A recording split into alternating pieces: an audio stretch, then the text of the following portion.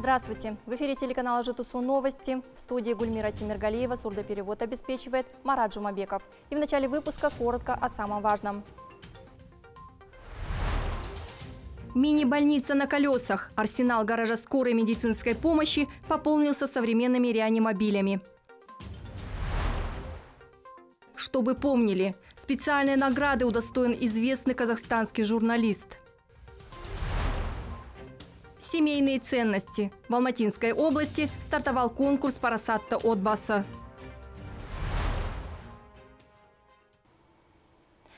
Темп прироста заболевания коронавирусной инфекцией в стране за последнюю неделю увеличился на 2,3%. В ряде регионов наблюдается ухудшение эпидситуации. Это стало ключевой темой сегодняшнего заседания правительства.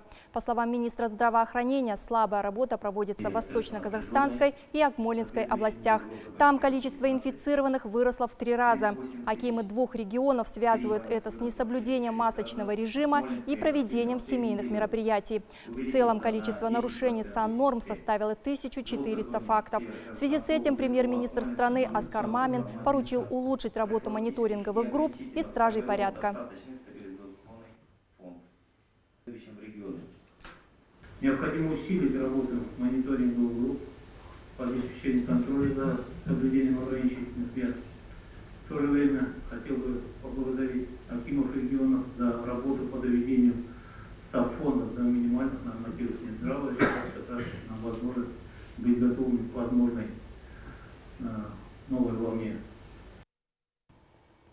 Для здоровья 12 передвижных медицинских комплексов и 180 машин скорой помощи пополнят автопарк медорганизации Алматинской области. Все ПМК и 89 реанимобилей уже прибыли в регион. Современный спецтранспорт позволит качественно и оперативно оказывать неотложную, экстренную и плановую медицинскую помощь. Ключи от нового авто руководителям больниц вручил глава ЖТСУ Амандык Баталов.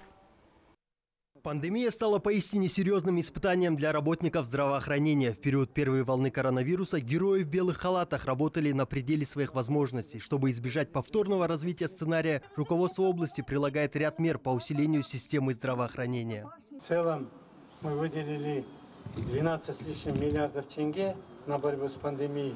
И из них 8 э, миллиардов тенге на вторую волну и сделали очень много, 12 больниц, э, там, где не было раньше э, кислорода, мы везде поставили кислородные станции и довели практически до э, каждой койки кислород. Мы пригласили уже 300 с лишним специалистов для того, чтобы оснастить наши больницы. Дали новые квартиры в прошлом году, закупили. Вот, недавно э, ключи раздавали, то же самое. Еще Э, дополнительно мы вот эти вот 47 коттеджей, которые вот завершаются, я сказал, для медиков отдать.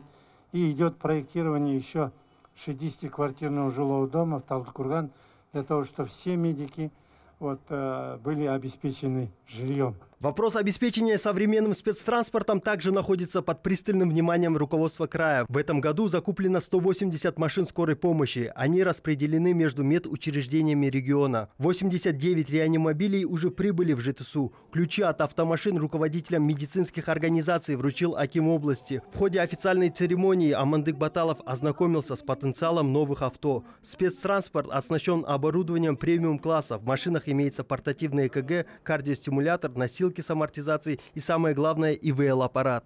В первую очередь хотелось бы выразить благодарность президенту Республики Казахстан Касым Жомарт Кемельевичу Токаеву, Акиму Алматинской области Амандык Габасовичу Баталову, Министерству здравоохранения Республики Казахстан за оказанную помощь в приобретении э, в виде приобретения санитарного автотранспорта. Это новые машины, очень плавный ход, э, сама конструкция транспорти транспортировки пациента, носилки тоже на амортизации. То есть при любых, это либо будет травма, либо любое другое заболевание, человек будет себя чувствовать комфортно. Улучшить качество оказания медицинской помощи позволят и приобретенные 12 передвижных мобильных комплексов. Передвижной мобильный комплекс – это своего рода мини-больница на колесах. ПМК укомплектован самым современным оборудованием, соответствующим нынешним реалиям времени. Здесь имеется несколько кабинетов и лаборатория.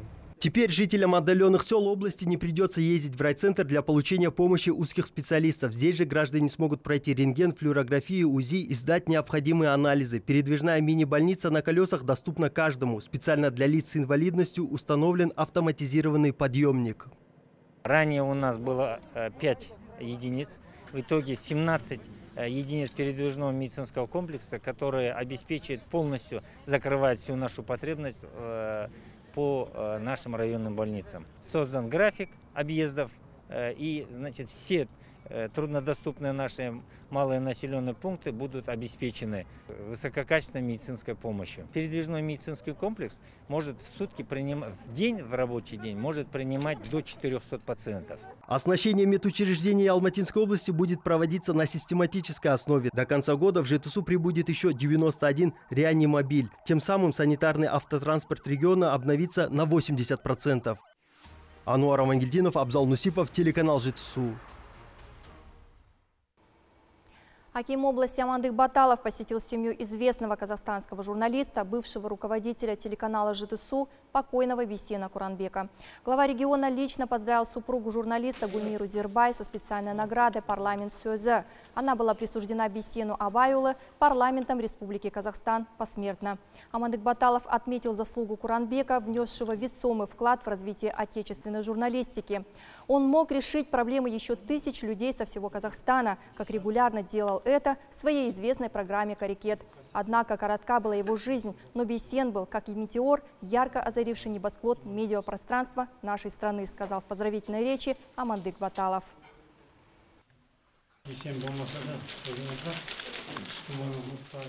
Нет Бейсена с нами, но есть вы, его семья. Поэтому я решил лично поздравить вас с такой высокой наградой. Еще полгода назад председатель Мажилиса Республики Казахстан Нурлан Нигматулин говорил об этой награде, но пандемия помешала осуществлению планов. Я любил Бейсена и уважал как своего родного брата. Я думаю, что он и его заслуги никто никогда не забудет. Здоровья вам и вашим детям.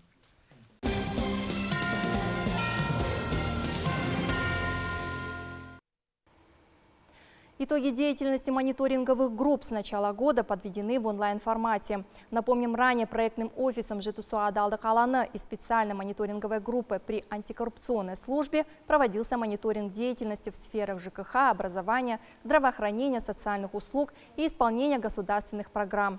За 10 месяцев текущего года было проведено более 30 мероприятий. В ходе заседания оценивалась проделанная работа за истекший период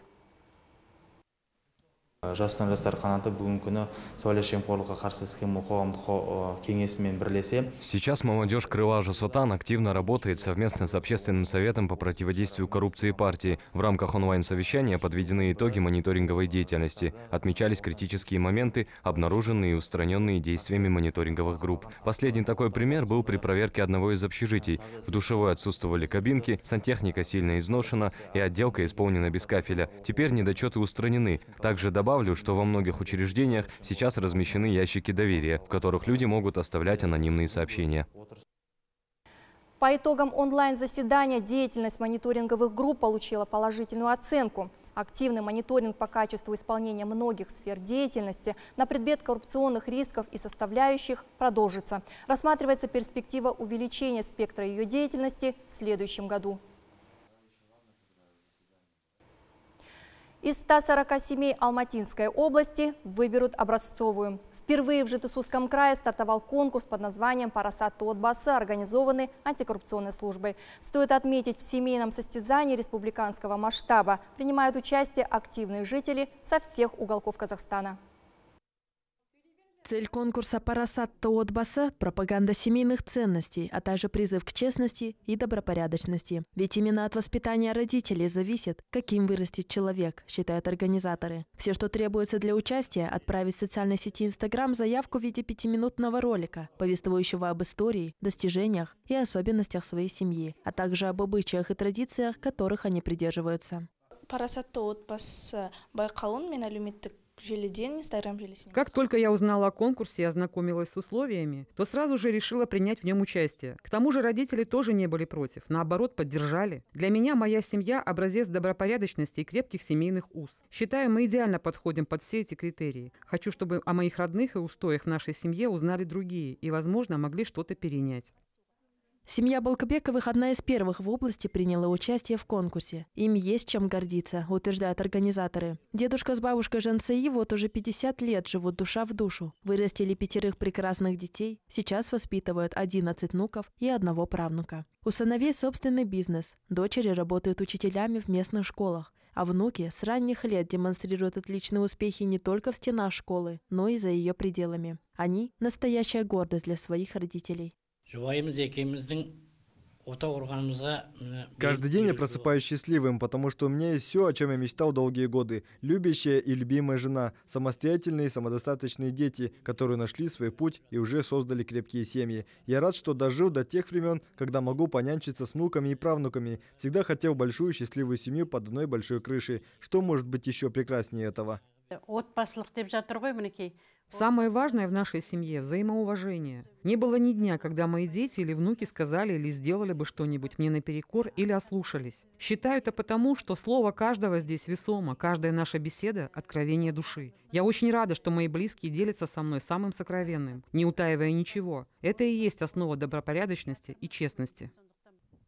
По итогам отбора в начале ноября определят лучших кандидатов на три призовых места. Им будут вручены ценные подарки. Однако без внимания не останется никто. На заключительном этапе жюри конкурса определит лучшие семьи по номинациям «Лучшая читательская семья», «Полиязычная семья», «Интеллектуальная семья», творческая семья и много других. Конкурсанты получат благодарственные письма и памятные призы. Адина Смогулова, Ежан Дусин, телеканал ЖТСУ. 19 ноября временно приостановят телерадиовещание по всему Казахстану. С 3 часов утра до 5 вечера будут проводиться планово-профилактические работы с закрытием сервисов на технических средствах спутниковой, цифровой и аналоговой эфирной сетей. В связи с этим на время проведения работ будет временное приостановление ретрансляции телерадиоканалов по всей территории Казахстана, говорится в сообщении. АО «Казтелерадио» ежеквартально проводит планово-профилактические работы с закрытием сервисов на технических средствах спутниковой спутниковой и эфирной сетей. Данные работы необходимы для обеспечения качественного телерадиовещания, учитывая, что квартальные планово-профилактические работы дают возможность длительно отключать сервис. В этот период проводятся и дополнительные работы по модернизации технических средств. На Атырауском нефтеперерабатывающем заводе произошел сбой в режиме работы биологических очистных сооружений. Это стало причиной кратковременного проскока биологического шлама в канал нормативно очищенных стоков. В настоящее время проводится наладка технологического режима, отметили в отделе по связям с общественностью ТО АНПЗ.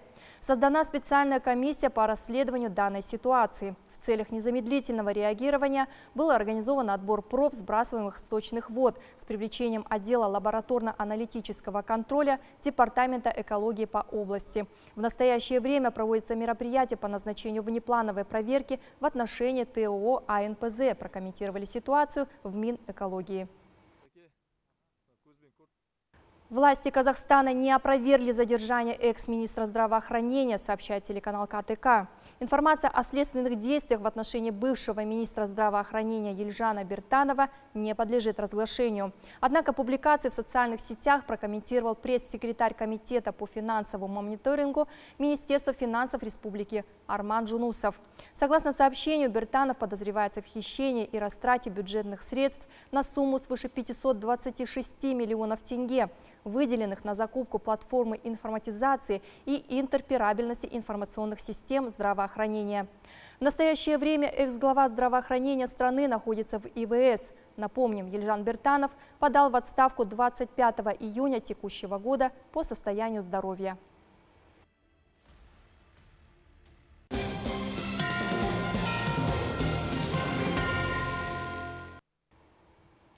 Из-за растущего числа случаев заражения коронавирусом в кантоне Женева на юго-западе Швейцарии с понедельника вводится карантин.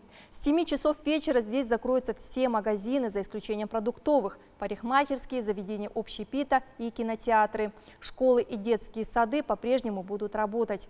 Несколько дней назад университетская клиника Женевы забила тревогу. Больница готовится к худшему, гласит объявление. К середине ноября опасаются специалисты, все места в реанимационных отделениях учреждениях страны будут заняты. Медперсонала не хватает. В кантоне Аргау уже сейчас медсестрам с положительным тестом на коронавирус, но при отсутствии симптомов предписано выходить на работу. По меньшей мере, семь человек стали жертвами тайфуна Гони, обрушившегося в воскресенье на Филиппины. Его называют самым мощным ураганом, пришедшим на архипелаг за последние семь лет. Эвакуировано более 400 тысяч человек. Скорость ветра превышает 220 км в час. Тайфун постепенно движется к самому густонаселенному острову Филиппин – Лусону, где расположена столица Манила.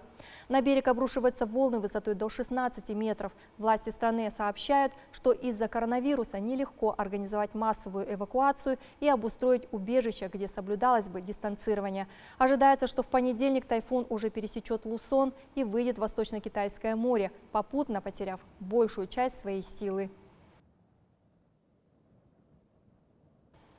Провинции Измир на западе Турции продолжается поисково-спасательная операция. В ней принимают участие свыше двух тысяч специалистов. Растет число жертв землетрясения. По последним данным погибли около 70 человек, почти тысяча пострадали. Подземные толчки привели к обрушению по меньшей мере 20 многоэтажных домов в Измире. Власти Турции начали выплачивать материальную помощь. Землетрясение магнитудой свыше 6,5 баллов было зафиксировано в Эгейском море в 19 километрах к северо-западу от греческого острова Самос.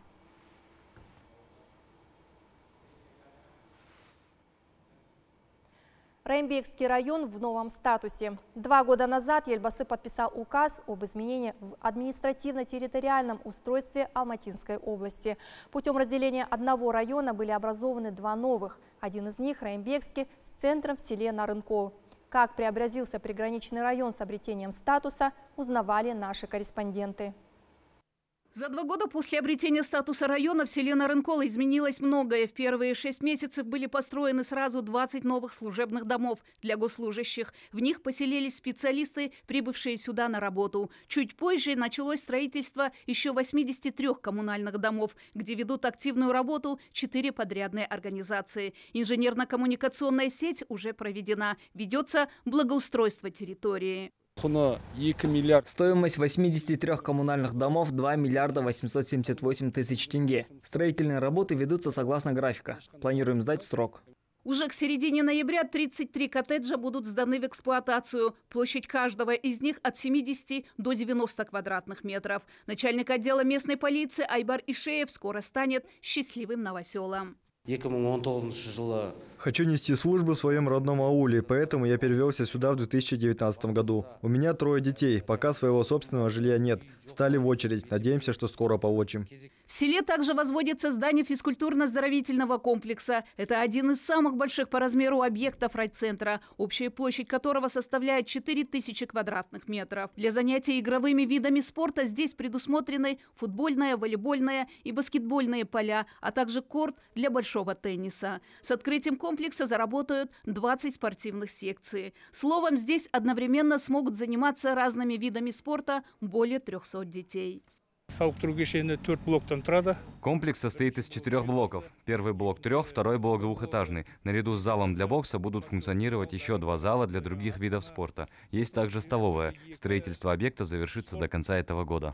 Все в этом ауле новое. Для сотрудников полиции строится офис, а для нарушителей – изолятор временного содержания. Уже сдано в эксплуатацию здание Комитета национальной безопасности, сервисного акимата и Центра обслуживания населения. Ведь численность на рынку добровольцев с каждым годом увеличивается. Со дня обретения нового статуса в село вернулось более двух тысяч человек. Среди них уроженец Нарынкола Еляман Аманбеков. После окончания вуза он вернулся в родной аул. Я учился в Алматы. После окончания сразу же вернулся в аул. Работаю в сервисном акимате. Хочу вложить все силы и знания в развитие родного региона.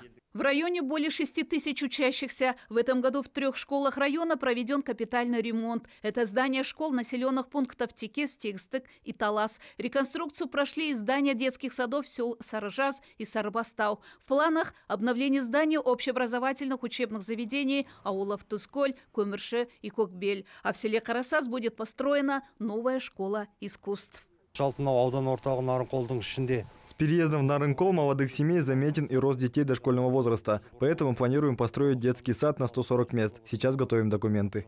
Внешний вид Нарынкола изменился кардинально. Дороги ремонтируются, повсюду уличное освещение. Порой идешь вечером по улице и чувствуешь себя городским жителем, говорит Кинжибике Садвакасова. 85 жылдан бері осы этажда 80 лет я живу в этом доме. Раньше дома с пустыми глазницами вместо окон пугали нас. О новых зданиях мы вообще мечтать не могли. Теперь все изменилось в лучшую сторону. Огромную благодарность хочу выразить Акиму области. Сельское хозяйство Нарынкола тоже переживает лучшие времена. Более чем на 6 тысяч гектарах посажен картофель. Собрано 120 тысяч тонн урожая. Перспективы отличные, уверяют сельчане, испытавшие на себе все трудности приграничного региона, утратившего в свое время статус района. Поэтому они благодарны руководству страны и области, которые открыли второе дыхание на Рынколу. Каждое начинание здесь не проходит без участия Акима области Аманды Кабаталова. Спасибо Амандыку Габасовичу, Акиму области. Вся эта работа ведется под его личным контролем. А молодежи хочу сказать, приглашайте своих друзей к нам, ведь село будет расти и процветать. Очень большие перспективные планы намечены. Я думаю, они будут осуществлены в ближайшее время. Поэтому мы сами в первую очередь должны работать во благо родного аула. Гульназ Мустафа, Курманжан Касымжанула, Аманжол Жанкешев, телеканал ЖТСУ, Раимбекский район. Это были все новости к этому часу. Благодарю за внимание. До свидания.